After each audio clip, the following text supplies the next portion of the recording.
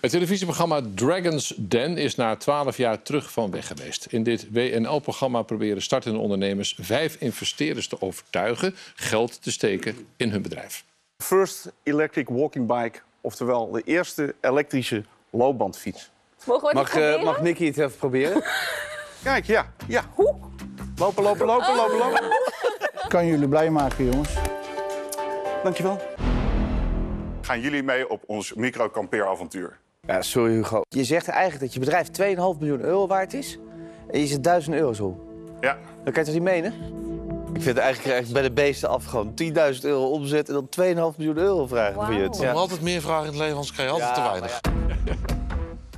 Ja, Ik word hier goed neergezet. eh, zie ik al. Oh ja, dat was je taak, toch? Dat was mijn Ja, taak. ja, ja. ja. Daarom heet het Dragons. zijn. Dus Ja. nou, en Wonjip, wat mij, uh, horeca-ondernemer, eh, opvalt in één keer... is die handen schudden. Dat is zo'n gek gezicht, want dat mocht toen nog. Toen wel, ja. Ja. Hoe is, hoe is het om, dit, om deze beelden te zien? Ja, Ik moet even wennen, want... eh, ja, dat snap ik. Het is een hier in enorme uitzending overgang. terecht eh, dat die overgang toch wel groot is. ja. Dus eh, ja, sorry, wat was de vraag? Nou, hoe, hoe het is om deze beelden eh, terug te zien. Want dit is inderdaad allemaal opgenomen voor coronatijd. Ja, het was nog eh, Lijkt lang geleden weer, hè? de goede tijd. Ja. We hebben staan vloeken op elkaar, want we moesten eh. Acht uur s ochtends op de set zijn. Dus dan moet je toch wel om zes uur je bed uit. Het waren lange dagen, acht dagen achter elkaar. He- he- heeft u eh, geïnvesteerd in, in ondernemingen waarvan je nu denkt... oeh, eh, had ik het maar niet gedaan? Nee, eigenlijk niet. We hebben er wel naar gekeken. En eh, ik heb dan één project zelf. Dat is een, een, een ringdoosje. Dus als je iemand eh, ten huwelijk vraagt, dat- dat er dan een, op het moment dat die open gaat, dat er een eh, filmpje gemaakt wordt. Ja, daar heb je. Ja.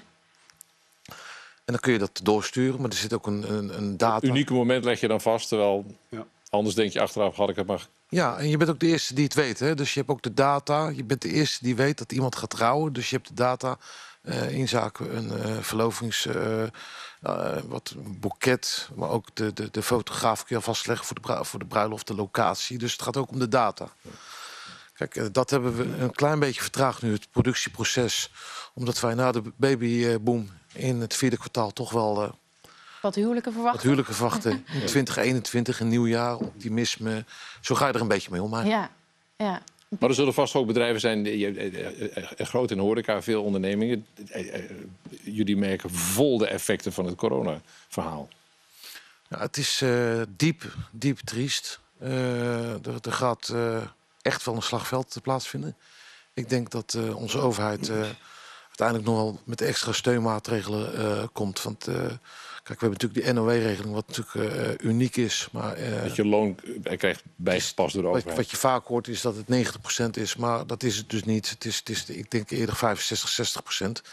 En die 60% is alleen de kosten van het personeel. Dus je hebt daarnaast ook nog alle, alle kosten van huisvesting, wat er nog bij komt. Dus ik, ik denk dat het echt een, een hele, hele pittige slag wordt. Eh, het is natuurlijk afhankelijk eh, eh, wat er 21 april gezegd wordt, of eh, 21 of 28 april. ja. Voor een verlenging komt. En als het langer duurt, dan wordt het echt Zeker voor horeca zou dat inderdaad ook natuurlijk heel heftig zijn. Ehm, Pieter, je hebt zelf overigens ook corona gehad, hè? Ja, dat mag ik eigenlijk niet zeggen Nee. van mijn vrouw, want het waren van die sneltesten. Ja. Eh, maar ik heb vier verschillende sneltesten heb ik, eh, ondergaan. En dan ben ik altijd, of elke keer ben ik positief getest. En het was heel erg gek. Het was 16 maart. Ik heb drie dagen heb ik echt hoge koorts gehad. Maar daarna had ik dus helemaal geen koorts. Maar had ik twee weken totaal geen smaak en geur. En nou heb ik zes kinderen, dus die geur met die, met die poepluiers vond ik niet zo erg. Maar, eh, maar ook eh, geen smaak. Dus dat je alleen maar door de structuur in je mond moet eh, gekken, eh, gokken wat het is. Ja. Dat is wel heel erg bijzonder. Ja, maar het gaat weer goed. Het gaat weer helemaal goed. Ja, Ehm, jij merkt natuurlijk ook aan alle kanten hoezeer eh deze crisis ook een, een, een economische crisis wordt. Ehm, in het programma zijn er dus mensen die, die dromen hebben, die iets willen beginnen en die willen van jullie een investering hebben.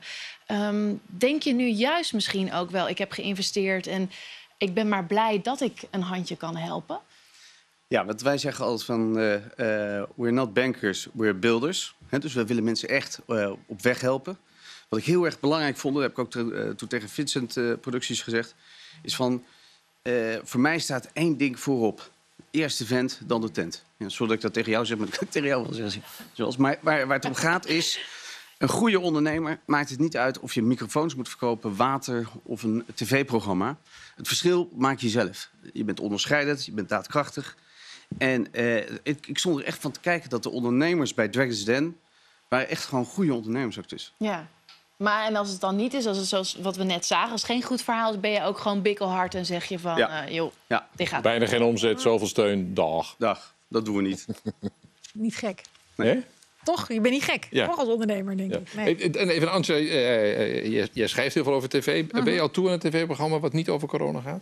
Eh, ja, ik denk dat ik eh, redelijk representatief ben voor heel veel Nederlanders. Ik wil wel iedere avond informatie, ook al word ik daar niet altijd heel vrolijk van. Tuurlijk. Wel van dit soort verhalen gelukkig, van mensen die genezen zijn.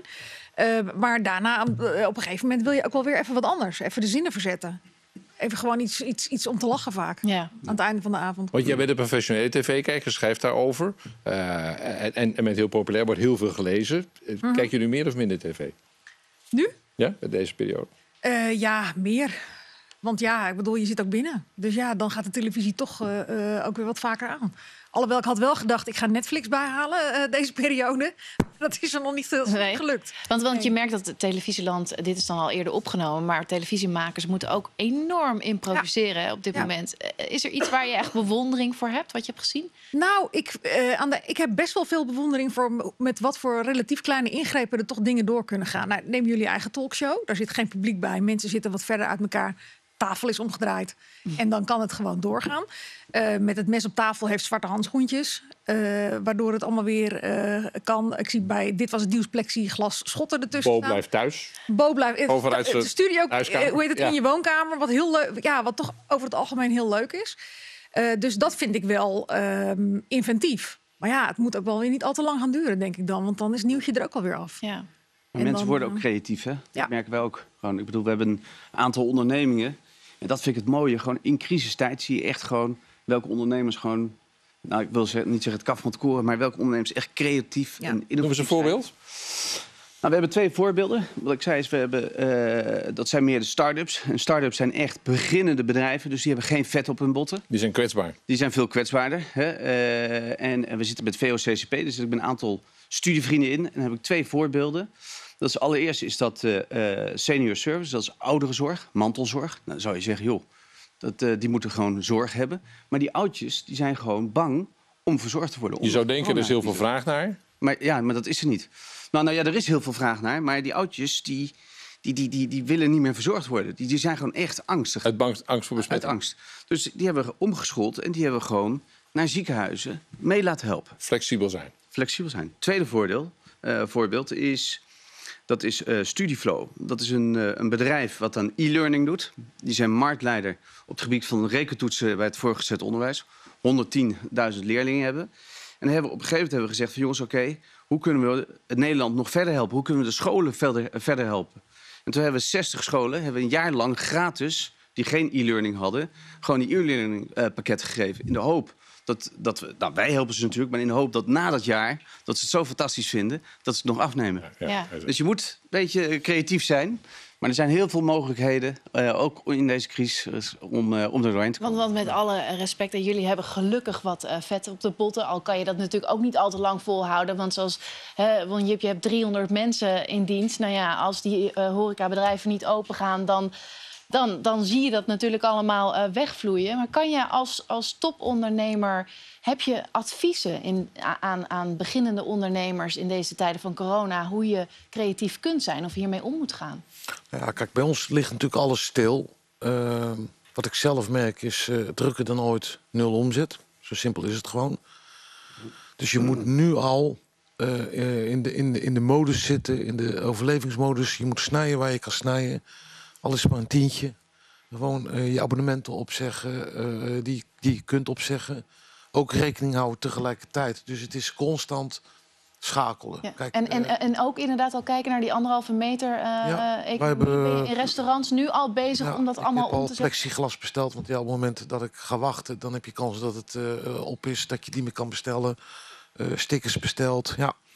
Met het risico dat het misschien niet werkt. Dat is dan ook weer ondernemen, maar je moet nu schakelen. En ehm, En ik zit hier niet voor mezelf. Hè. Ik bedoel, eh, wij hebben de toplocaties, dus, dus wij gaan het echt wel overleven. Eh, of, het, of, of het schadevrij uitkomen, dat is nog maar de vraag. Ja. Ik zie die echt eh, voor, de, voor de horeca aan zich, waar het gewoon echt problematisch is.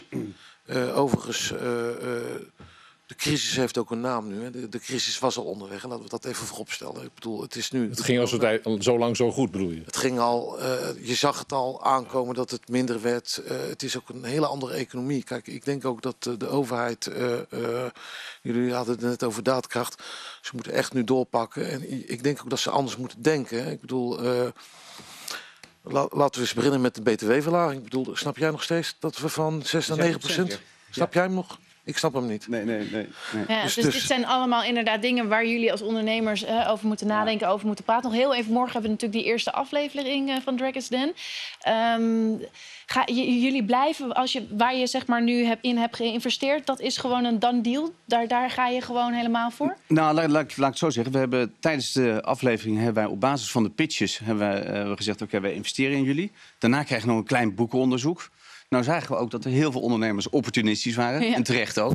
Hè, dus niet overal zijn we in, in meegegaan, wel merendeel. Merendeel wel, toch? Ja, ja. En, eh, en dat vind ik gewoon wel heel erg knap. eh, want ook in deze coronavirus moet je saamhorigheid hebben. Ondernemers voor ondernemers. Ja, elkaar helpen. Goed. We mogen kijken, eh, Angela? Zeker. Goed zo. En jullie hebben een mooi tijdslot na Boezemvrouw. Ja, Dragon's Den is eh, Ik denk ook morgen echt dat het de moeite waard is. te zien. Ik ben, ik ben